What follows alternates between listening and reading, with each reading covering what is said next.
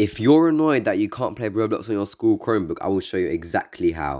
Firstly, what you're going to want to do is you're going to want to open the link that I have in the description down below. There may be some ads, but it's fine as it is probably normal for everyone when you log into this page. But after this, you'll be redirected to the Roblox login page. When you are here, what you're going to want to do is either log in or sign up. Just do whatever is preferable towards you. Whenever you have done this, you'll be redirected to the verify page maybe.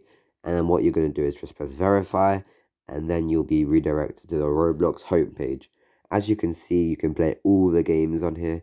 It's you can play anything you want, so it's fine.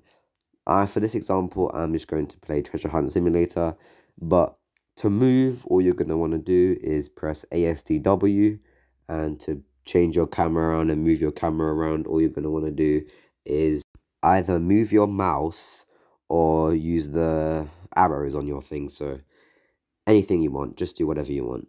But yeah, that's basically it. Thank you for watching, everyone, and bye bye.